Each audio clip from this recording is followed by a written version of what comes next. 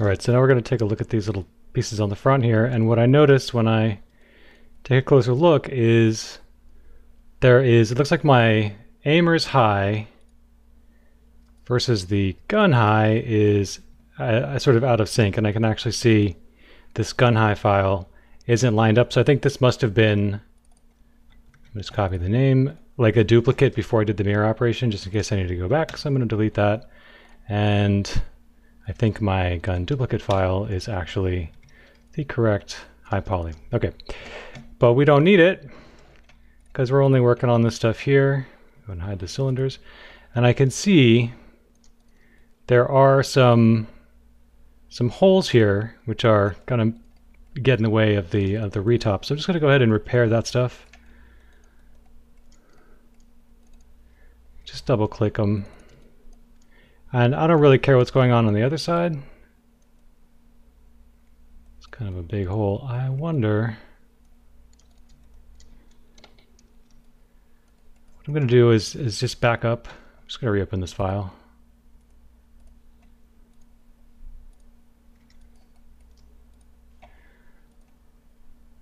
So if I isolate these guys, okay, I do definitely still have Aimer's high. Sorry, what I'm trying to do here is look at this thing. So I think I'm actually just going to keep it because I think it's correct and I can delete everything else. And we can isolate it here. And that's nice and clean. Perfect. Okay, so if you ever see your geos messed up, your high poly geo, it's pretty important that, that you find a clean version of it. And because again, we're we're duplicating from this side to this side, I have faith that this is going to be the correct mesh. So uh, now I'm going to move forward with this one. So we'll go ahead and make it live.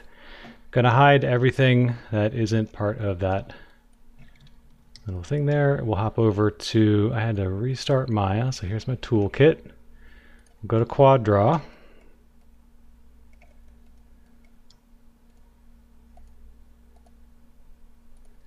And I want to make sure I've got enough uh, edge loops here to describe the curvature.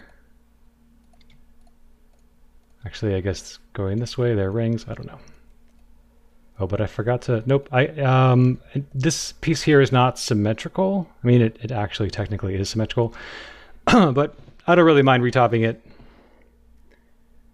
Actually, tell you what, I'm going to hop out, go to face view.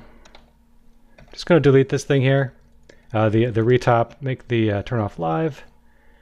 I'm going to center the pivot. And then let's just turn on, we'll go to the front view. Get this camera out of the way. So if I can scoot this thing over, and I can see where my where my pivot is and just line that up fairly closely with the origin.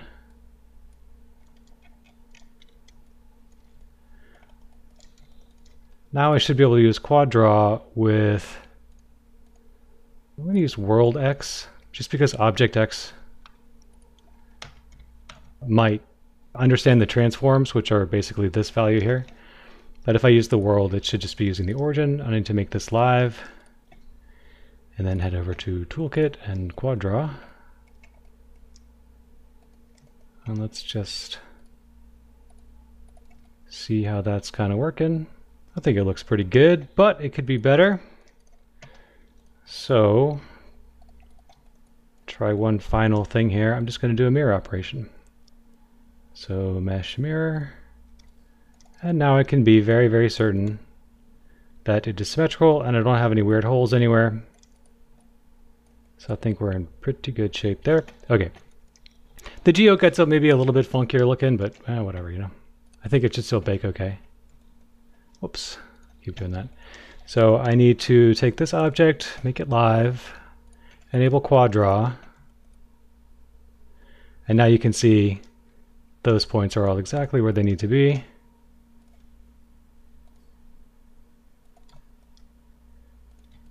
Right on the edge.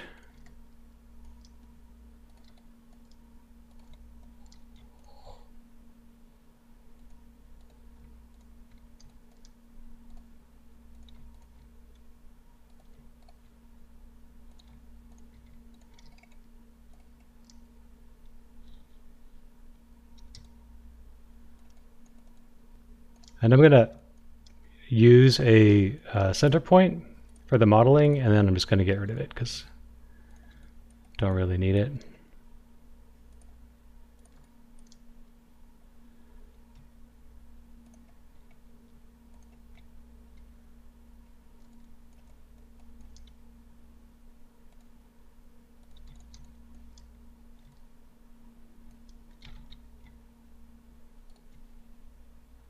And probably know the drill at this point. Just kind of zip around this thing.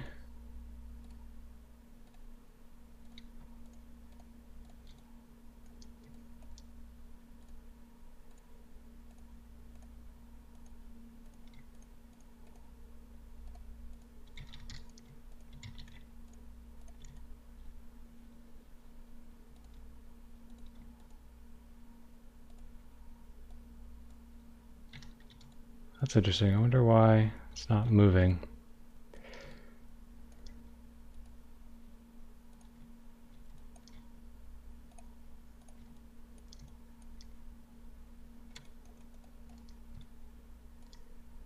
So by the time we get over here, that's pretty much flat, so I'm just going to go ahead and collapse this. This thing is pretty small. I'm not real worried about little areas not reading perfectly.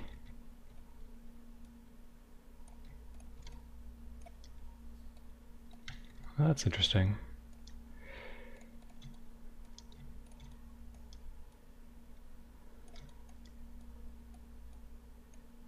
So I think what I'll do here is just use the uh, tab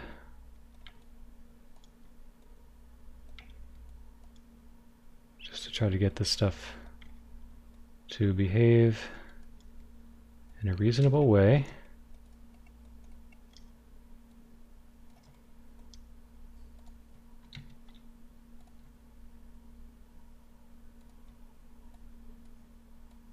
Hmm.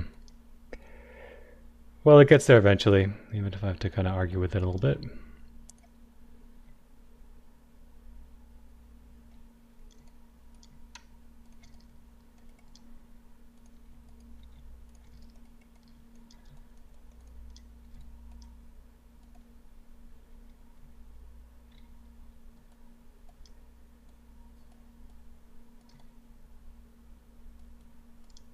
That's probably pretty reasonable on both sides.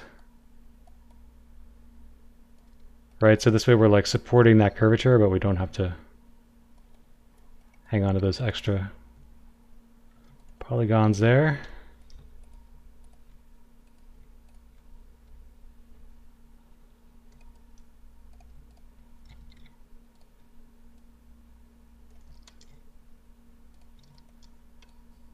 And we can just kind of get all this stuff here knocked out.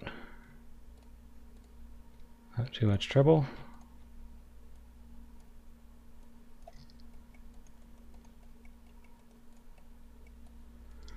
And down here, I'm going to go ahead and just collapse that so we don't have to try to integrate too many points here into the cylinder.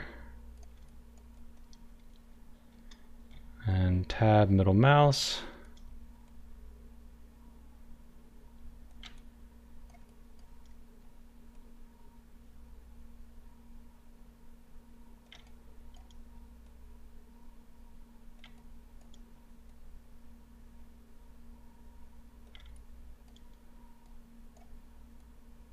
Kind of get all this stuff figured out.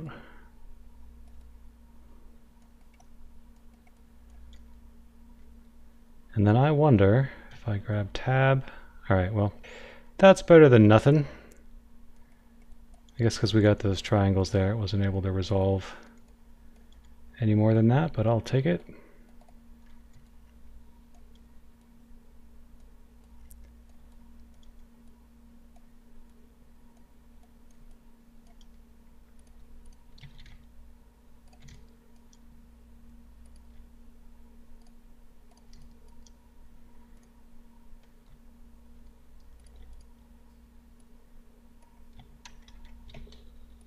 Thinking I might get a little bit clever there, but I think I'm just going to keep it simple.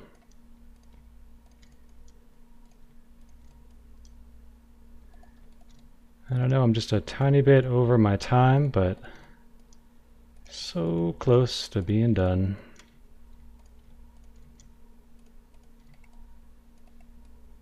Voila. Okay. Uh, so we don't need this edge, whatever.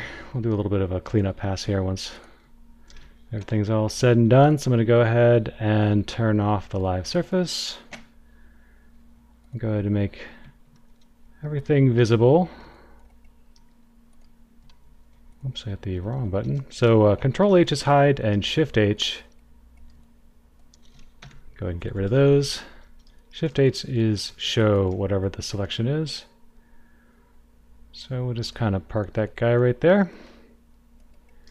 So now we have the cleaned up high poly and it's broken up uh, in a way that's going to make it nice for baking. And uh, we will take a look at uh, cleaning up the low poly here and uh, starting the UVs here in the next few videos.